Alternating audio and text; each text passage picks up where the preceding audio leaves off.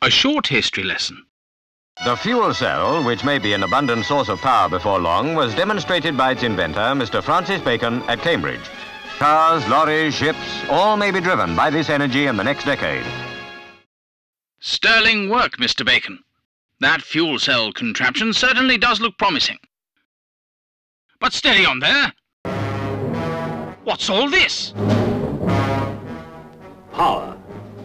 Power in the turbo generator to light the windows of the world and turn the wheels of industry. Power on which the 20th century has been built. Power to speed you in safety and comfort across the seven seas. Power in the turbine to conquer the oceans of the world. And we all know where that led.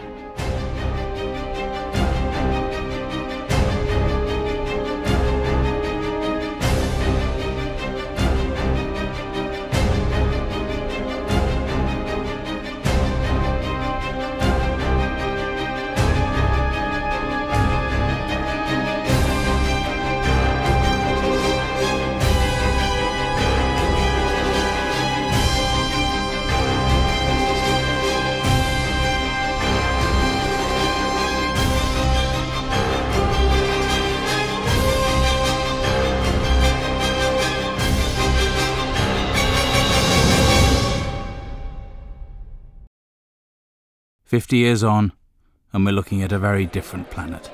As the population catapults towards 7 billion, our huge energy demands show no sign of slowing. We know the clock is ticking. And everyone's looking for an answer. But what happened to the fuel cell? Our model is operative. I'll connect the circuit here, and you can see that the fuel cell is taking the hydrogen from this bulb, taking oxygen from the air, and converting it into electricity. As you can see, the fuel cell had also caught on on the other side of the Atlantic. In fact, it really took off a few years later when it was used to power the U.S. space program. However, the fuel cell was at that time deemed too heavy and too expensive, and so drifted off into obscurity. Or did it? In a quiet corner of England, down a winding country lane, on a disused airfield, a group of scientists are changing all that. Welcome to AFC Energy.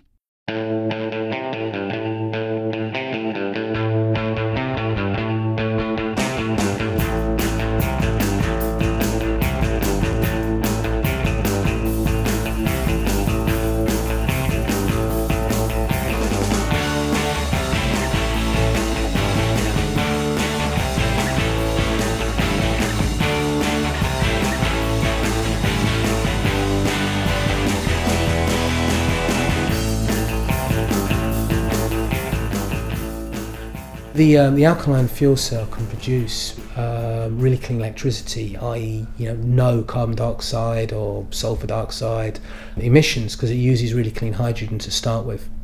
So what we do is we use really clean hydrogen sources and then convert that directly into electricity, a really high electrical efficiency, and we produce a bit of heat, which we can also use as well to further improve the efficiency, and we produce deionized water what we're doing, I mean, at AFC, and this is what special about I think our alkaline fuel cell is we're looking at large scale industrial power applications. I believe that the something like I think one percent of the world's energy goes into making chlorine, and it's an absolute massive amount, and the byproduct being very very clean hydrogen. So what we're going to do is basically take our fuel cell systems, and as opposed to sending that hydrogen into the atmosphere, you stick it through one of our fuel cells and it produces electricity, which then goes into a grid, which either the company can use to reduce the cost of their chlorine process, or they can then sell it to the local grid. Waste to energy. This is where you know landfills hopefully will be a thing of the past. Increasing there are technologies, gasification technologies, where you basically take rubbish you convert it into clean hydrogen. That hydrogen will go through to one of our fuel cell systems, which can then go into the grid, which is a really, really exciting area. And then another area which is potentially well, world changing is the UCG. UCG being underground coal gasification. You've also got other types of coal gasification, but ultimately it's about clean coal. So you take coal, um, you extract hydrogen from it, and then you take that hydrogen and then you feed that through one of our fuel cell systems, make electricity, and then that goes into the grid. So, whilst you're still using coal, you can do it in such a way that you trap the CO2. So, that CO2 can then go down and be pumped back into land. It enables us to kind of really, you know, use our coal reserves in a much, much, much more not only efficient way but a clean way, in which I think, you know, has a potential massive bearing on the planet. I mean, I think it's critical that these things get developed. I mean, otherwise, the future's looking pretty bleak. Even if we don't have a climate crisis, uh, there will still be an energy crisis at some point because oil, gas, and eventually coal will run out. So there is uh, a need, uh, uh as well as a climate need, to change uh, or to transit to renewable energy resources by around mid century. In future, when we've got a high penetration of renewable energy into the energy systems, uh, storage of energy will become uh, more of a, a, a, necessity.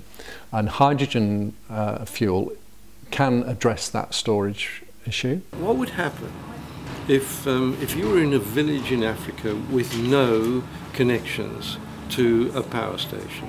What you want is to micro-generate electricity. So you, you put solar photovoltaics on your roof. You don't get light during the night out of that because the sun is no longer shining. So you need to store energy so that you can switch on lights and cookers at night and the television as well. So how do you do that?